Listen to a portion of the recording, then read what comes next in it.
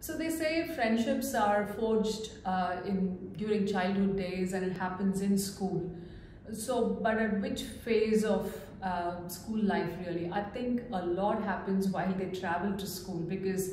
um, the time spent in the school bus with those set of peers who are sitting around you uh, and um, there's not really a set structure in terms of like a timetable in the school gives so much of flexibility for children to make those lasting lifetime relationships so bus friendships are i think very dear very uh, special in so many ways uh, STS has done a lot to forge those friendships in the bus um, in terms of creating a very secure uh, um, bus ride.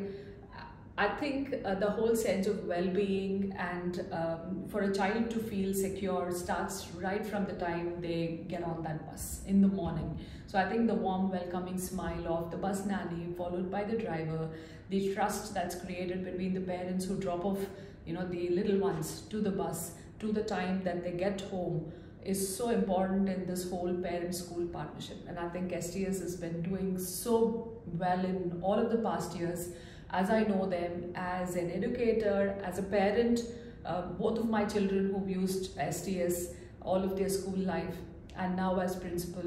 I can completely vouch for the um, that special touch that STS brings to bus rides.